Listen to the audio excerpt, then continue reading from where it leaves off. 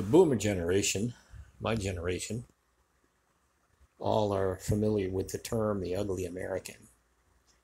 Although I would say probably half of them have no idea why or where it came from. But this is an explanation in brief. In 1950s, late 1950s, there was a book written called The Ugly American, and it was later made into a movie starring uh, Marlon Brando as an American ambassador, State Department, assigned to Vietnam.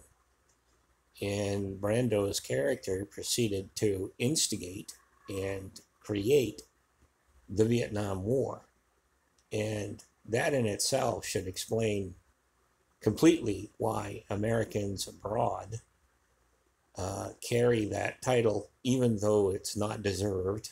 It's unearned by most of the people that go as tourists. But I will say this that I have found that Europeans in general in Asia tend to be pricks, talking down, looking down, and, you know, treating most of their hosts like, I don't know, trivial or servantile.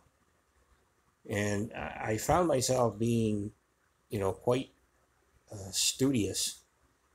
I am a student of interpersonal relations. I, I kind of thrive on studying people and why people do what they do. I'm very analytical.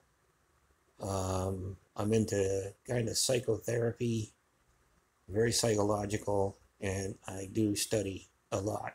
I pay attention to just about everyone and everything going on around me. And I noticed that there are a lot of uh, Filipinos that look at Americans as, I don't know, kind of, uh, it's two prong status. We're looked upon as heroes, allies, friends. Um, we kind of bail them out and they've overlooked the colonial period when we actually, the U.S. actually held the Philippines as a colony.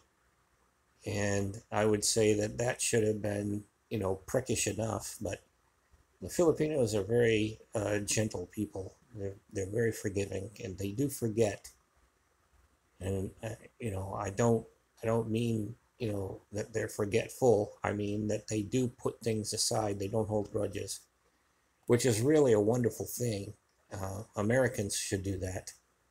You know, put their hate and their pettiness aside and move on. Life is too short. Well, anyway, in periods when I would uh, consume alcoholic beverages here, I found myself becoming the ugly American.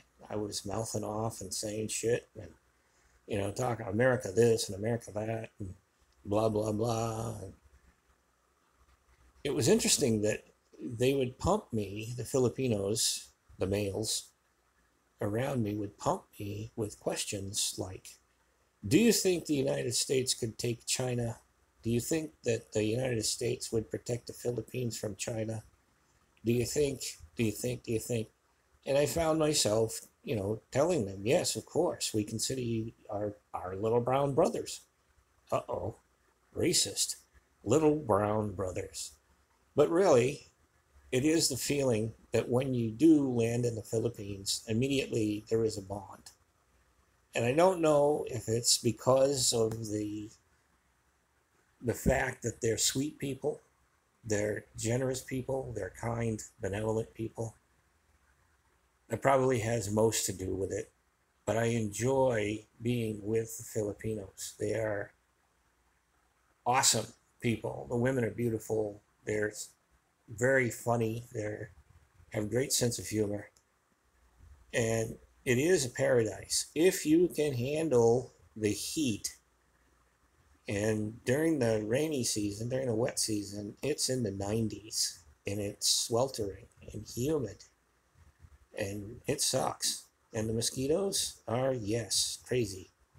And you can get malaria and dengue fever, which can be life threatening, fatal. Um, So there's a lot of negatives to, to coming to the Philippines, but if you're coming for like a vacation, holiday, uh, do it. It is beautiful. It's phenomenal. You'll never forget it. It's awesome.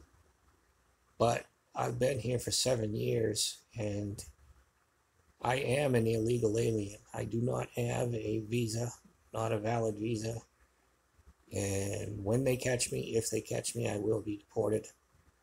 And I'm not looking forward to that at all because I don't want to screw up my wife's opportunity to get an American visa.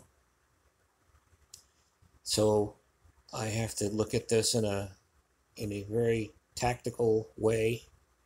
I have to plan and make some adjustments and figure out how I'm going to leave the Philippines without being arrested and blacklisted.